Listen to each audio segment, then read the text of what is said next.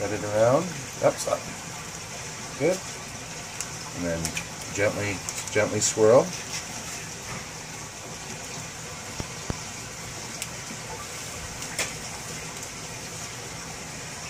And then, before we add any water,